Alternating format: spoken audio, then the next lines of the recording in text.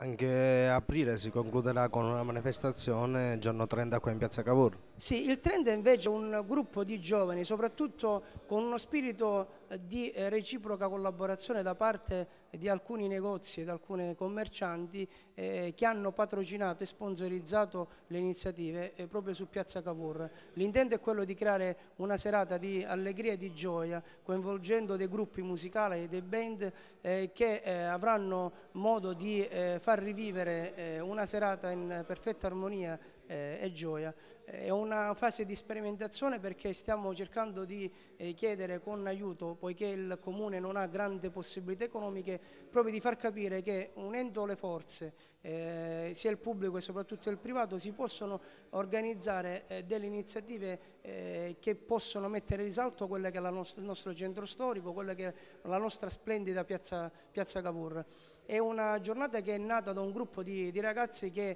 tramite gli strumenti telematici ormai di Facebook sono riusciti a creare un gruppo eh, interessante, un gruppo no, notevole e hanno deciso eh, così in maniera con spirito